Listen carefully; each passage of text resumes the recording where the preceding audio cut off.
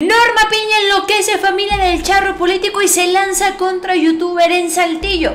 De esto y más vamos a platicar el día de hoy, pero recuerda regalarnos ese poderoso like aquí en Despertar Político para poder seguir llegando a un mayor número de personas.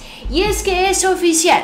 En el mes de septiembre, familia del charro político, estamos arrancando agosto. Prácticamente los días de los ministros están contados y bueno, pues siguen llevando a cabo prácticas desleales.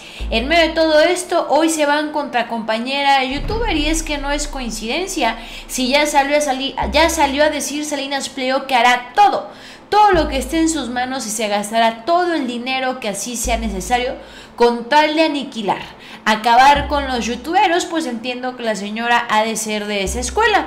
No por nada define tanto a Salinas Pliego. Así que toda nuestra solidaridad, apoyo y admiración a nuestra amiga valiente Ale Salazar, quien el día de hoy fue a una convocatoria ¿no? del Poder Judicial y aun cuando se sabía que podían haber manifestaciones, la compañera se la rifó. Triste que mande a gente encapuchada. Ojalá que ese dinero mejor lo destinara la señora en que se resolvieran rápido los casos y que se cumpliera con el mandato de la Constitución, que la justicia fuese pronta y expedita, pero no vemos que es más importante mandar a intimidar a youtuberos, ya está como Enrique Alfaro. Pero en fin, la lucha sigue, familia del charro político, y en medio de todo esto, Celebramos el respaldo y el apoyo del compañero Fernández Noroña al defender a nuestra compañera youtubera y a todo el pueblo de México en estas asambleas donde les dio de su medicina y por las chanclitas del niño Jesús, familia del charro político, que se les quitaron las ganas de seguir debatiendo con el buen diputado Fernández Noroña. Traca, traca tu matraca. Pues vamos arrancando con la información. También decirte que ya arrestan al primer, al primer juez vinculado a las anomalías y corrupciones de Norma Piña. Y ahora resulta que van a armar una marcha los de la Marea Rosa financiados por Claudio X González para evitar la representación del pueblo en el Congreso, queriéndole quitar diputados a Morena cuando ya se ha explicado una y otra vez que no se está yendo en contra del mandato establecido por la Constitución, que fue el PRI y el PAN quienes estipularon ese ese artículo. No hay sobre representación de Morena, pero son unos hipócritas. Pero ¿cómo era eso de que el INE no se toca? O sea, el INE no se toca cuando está Ciro Gómez este Ciro Murayama, Lorenzo Córdoba y gente afín a ellos, pero sí se toca cuando no les favorecen los intereses. Así que vamos desmenuzando la información, nuestra amiga Ale Salazar está bien y arrancamos. Pues bueno, Ale Salazar platicó lo siguiente en sus redes sociales. Hoy se llevan a cabo en Saltillo los diálogos, este foro rumbo a la reforma al Poder Judicial. Y bueno, eh, mientras allá adentro está Ricardo Monreal, el senador, acompañado de otros senadores y diputados electos, aquí afuera hay manifestación y pues yo a pronto me dejé venir, vamos a ver qué opiniones recabamos acerca de la inconformidad que tienen algunas personas de esta reforma al Poder Judicial. A ver si no me tocan guamazos. Pues ahí está, Ale Salazar advierte a ver si no me tocan guamazos.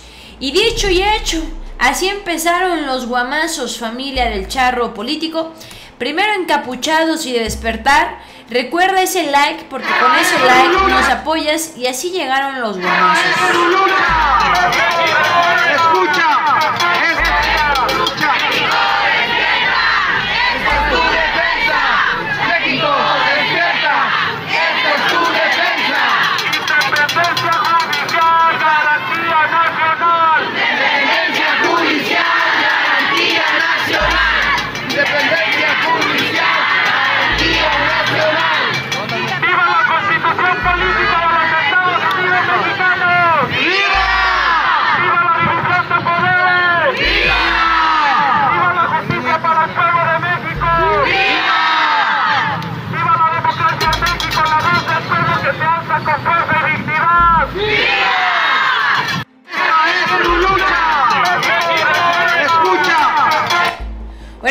Está. Así llegaron las personas a querer tronar la reunión. La asamblea informativa, vamos a escuchar esta otra.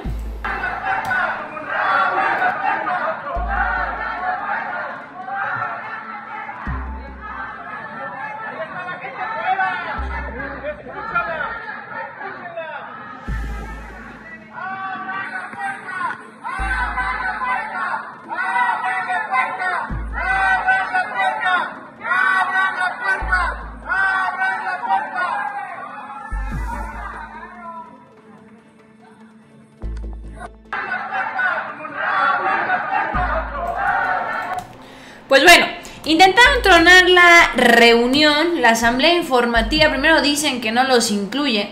Vamos a escuchar a esta trabajadora del Poder Judicial y dice así. Queremos que nos incluyan, queremos ser escuchados. Esto no se trata de prestaciones, porque a los trabajadores se nos ha querido vender un discurso de que nuestras, nuestras prestaciones no van a ser respetadas. Se trata de profesionalizar tenemos una carrera judicial muy buena dentro del Poder Judicial Federal. Y ahora que están las Olimpiadas, les quiero poner un ejemplo. Y para las personas que me escuchan que no son abogadas. Cualquiera puede ser velocista. Se dieron cuenta cómo, cómo, cómo pasó lo de... cualquiera puede ser corredor. ¿Qué pasó en la carrera de los 100 metros? Quedaron así, el límite. En los concursos para jueces y juezas, así quedan. Cualquiera puede ser corredor, pero no cualquiera puede ser velocista. Cualquiera puede ser abogado, cualquiera puede trabajar en el Poder Judicial Federal, pero no cualquiera puede ser juez. Y no queremos jueces puestos. No, queremos jueces que vengan a decirnos que no podemos resolver como lo dicen las constancias o no podemos presentar eh, proyectos como lo dicen las constancias o no podemos acordar acuerdos como nos los están pidiendo los justiciables, porque eso no le gusta al gobierno en turno. La pérdida de la carrera judicial es la pérdida de la independencia judicial y estamos en contra de eso. Queremos que nos respeten, tenemos dignidad, somos trabajadores que damos la vida por la nación y así como los diputados aprueban las leyes viendo a la bandera nacional. Nosotros trabajamos todos los días con la bandera en el corazón. Gracias.